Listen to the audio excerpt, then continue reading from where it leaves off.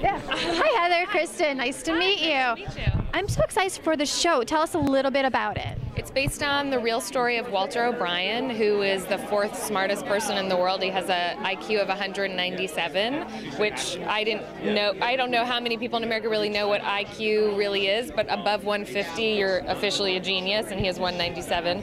And he has a company in real life that helps solve government problems. And so we all met with him and were blown away by him. And it's a show about, we kind of stepped it back.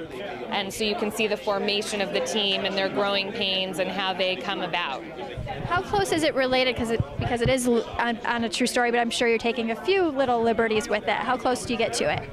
We're pretty close. I mean, we definitely take liberties because obviously you want to be bigger and more entertaining and but a lot of the stuff that he'll tell us is sort of like, "Oh my god, really?" Because he and his team helped find the Boston bomber and the way they did that with flow technology. He'll probably explain it when he comes down here. But um, we try to utilize a lot of what he does and have him help us out figuring out the stories. Are you going to keep it pretty true to, to real life, or do you have to change some of the names and stuff, but keep the stories in the same line? It's interesting. All of the characters are sort of inspired by someone who's really on Walter's crew. None, I don't. Th- none of the names are the same, other than Walter O'Brien, who is the same name. Um, but so we, again, it's close, but more inspired by, I guess. A lot of the pilot is really close, and then obviously we take license as we go. I've seen the trailer where it's about the airplanes and everything. Is it going to be centered around that one the whole time, or is it each week by week like a different case? Each week a different case, a close-ended. You can tune in any week and enjoy it. It's great for CBS that way. How much are you involved like on the set? On the set, not as I'm actually going to the set tomorrow, but not as much during the pilot. We were all on the set all the time. But then, because in TV everything's happening at the same time, you're getting cuts, you're getting outlines, you're in the writers' room. So we tend to be on the that creative side a little more because the truth is we have great people on the set and they don't really need us standing around.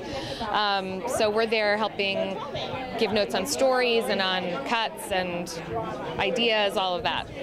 What was something about this, the pilot in particular, that you think really struck you as okay, this is the show that I definitely need to continue to be on? You know, what's great about it is, and I don't know if you've gotten to interview a lot of the cast yet, but every one of them is sort of not similar to their character necessarily, but whether it's their first job, there's some people who this is kind of like their first big break, or there are people like Robert Patrick and Eddie Kaye Thomas and Kat, uh, Kat McPhee, who this is like a big, not to say opportunity, but sort of this great meld of positive energy. And so I think it, it really dovetailed into what the pilot is. I don't know if that really answered your question. I think I liked it. I enjoyed it. It works for me. fun. It's a positive experience, and everyone everyone involved is just like so excited about it and wants it to work, and that's been really nice. I'm here after Buzz. We're all about television shows, and you're also executive producer on Sleepy Hollow. What can we expect for this season? We have a big following about Sleepy Hollow. Um, I think you can expect a lot of great drama. I mean, it should be fun and a lot of good scary monsters each week, and I think a lot of things you, as usual, that you wouldn't expect. And I think someone said the other day it's hard for our show to jump the shark since we've probably just done it over and over and over. So I think with that, you'll see a lot of insane things too. That show you could play around with more than this one, probably. Yes, you can definitely take a lot of creative license with that show. Thank you so much, Heather. Can't wait for it to start. Thank you so much. Nice to meet you.